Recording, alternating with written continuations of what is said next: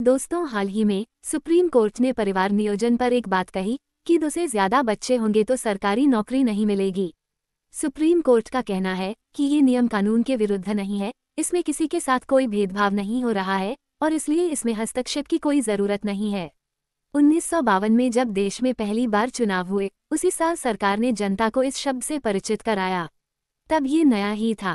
कईयों के लिए ये सोच पाना भी अजीब था कि क्या अब ये भी सरकार बताएगी कि बच्चे कितने पैदा करने हैं। लेकिन तब भारत परिवार नियोजन पर इतने बड़े स्तर पर बात करने वाले चुनिंदा देशों में से नहीं था।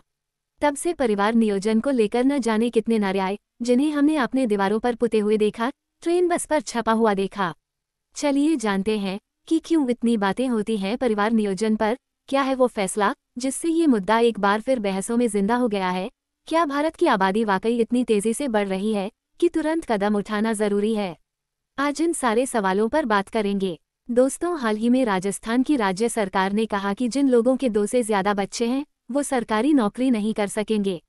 राज्य सरकार के इस नियम को सुप्रीम कोर्ट से भी हरी झंडी मिल गई है। सुप्रीम कोर्ट का कहना है कि ये नियम स्थापित कानून के विरुद्ध नहीं है, इसमें किसी के साथ कोई भेदभाव नहीं हो रहा है, और इसलिए इसमें हस्तक्षेप की कोई ज़रूरत नहीं है। सुप्रीम कोर्ट के सामने 2003 में भी ऐसा मामला आया था जब पंचायत चुनाव में उतर रहे उम्मीदवारों के आड़े ये नियम आया था, तब भी कोर्ट ने इसे बरकरार रखा था। अब कोर्ट ने 21 साल पुराने उस फैसले को भी रिवाइंड किया है। कोर्ट ने कहा, नियम दो से ज़्यादा जीवित बच्चे होने पर उम्मीदवारों को अयोग्य घोषित करता है, और ये नियम भेदभावपूर्ण नहीं है। कोर्ट ने साफ़ कहा कि इस प्रावधान के पीछे का उद्देश्य परिवार नियोजन को बढ़ावा देना है। चलिए जानते हैं, ये पूरा मामला कहाँ से उठा? दरअसल 31 जनवरी 2017 को डिफेंस सर्विसेज़ से रिटायरमेंट के बाद रामजी लाल जाट ने 25 मई 2018 को राजस्थान पुलिस में कांस्टेबल के पद के लिए आवेदन किया। लेकिन उनकी उम्मीदवारी को राजस्थान पुलिस अधीनस्थ सेवा नियम उन्नीस के तहत खारिज कर दिया गया। चलिए जानते हैं कि ये नियम क्या कहता है। कोई भी उम्मीदवार सरकारी सेवा में नियुक्ति के लिए पात्र नहीं होगा, अगर उसके 1 जून 2002 को या उसके बाद दो से अधिक बच्चे हों। क्योंकि रामजी लाल के दो से अधिक बच्चे थे, इसलिए वो राजस्थान में सरकारी नौकरी के लिए अयोग्य हो गए थे। रामजी लाल के इसी मामले पर हाई कोर्ट ने भी नियमों को सही ठहराया था।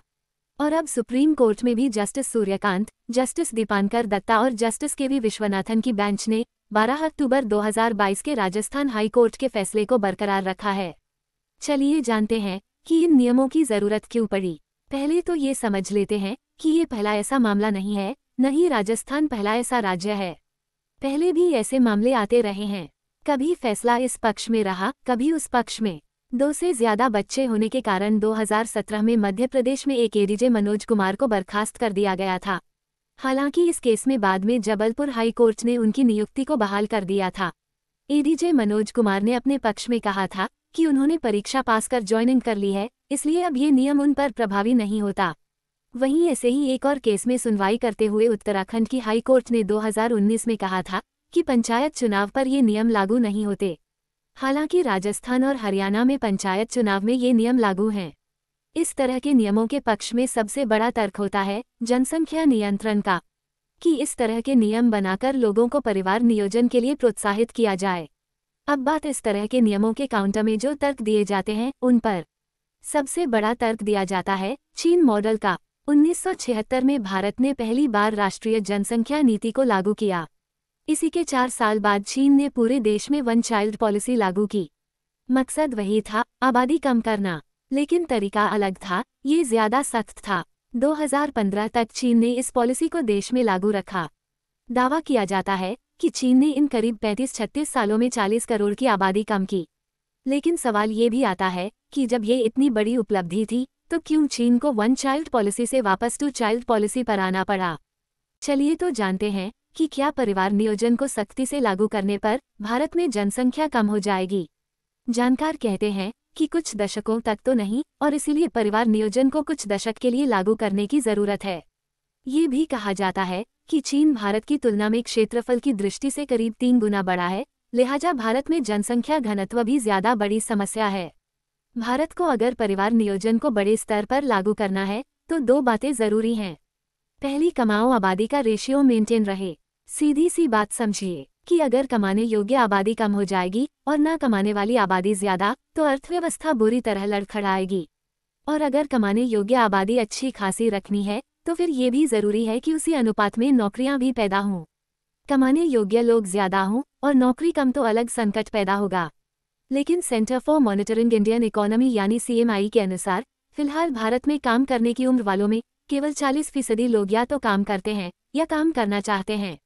काम करने की उम्र मतलब 15 से चौंसठ साल, और कमाऊ आबादी मतलब वो आबादी, जो 15 से चौंसठ साल के बीच हो, और काम कर रही हो या काम करना चाहती हो।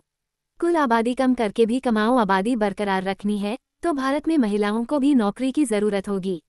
लेकिन यहाँ पर स्थिति और भी बुरी है। सीएमआई के ही अनुसार अक्टूबर 2022 के आंकड़े कहते हैं कि भारत में काम करने की उम्र हासिल कर चुकी महिलाओं में केवल 10 फ़ीसदी ही काम करती हैं, जबकि चीन में ये आंकड़ा उनहत्तर फ़ीसदी है। राजस्थान वाले केस में सुप्रीम कोर्ट ने दो से ज़्यादा बच्चे हो तो सरकारी नौकरी नहीं मिलेगी वाला फैसला बरकरार रखकर परिवार नियोजन पर एक बड़ा संदेश देने की कोशिश की है। ये संदेश नीतिगत स्तर पर भी है और सामाजिक स्तर पर भी।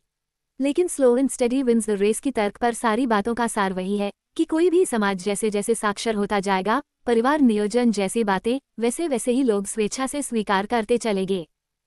जानकारी अच्छी लगी हो तो वीडियो को लाइक और शेयर करना ना भूले। साथ ही हमारे चैनल को भी सब्सक्राइब करें ताकि आप लोगों को इस तरह की वीडियो मिलती रहे।